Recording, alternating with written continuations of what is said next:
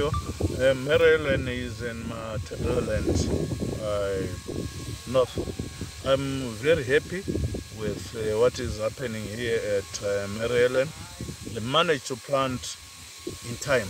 They started planting uh, on the 18th of April and they've ended uh, planting of wheat today, which is the 15th. Uh, because of that, they're able to achieve a reasonable yield of uh, 8 to 10 tons uh, per, per hectare. They planted a total of 270 hectares.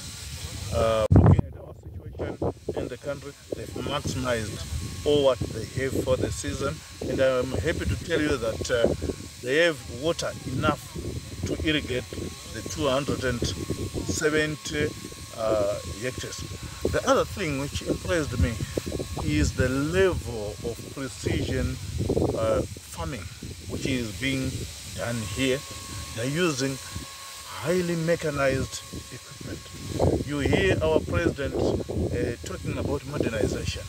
This is an area, a farm where modernization is at its highest. I would encourage our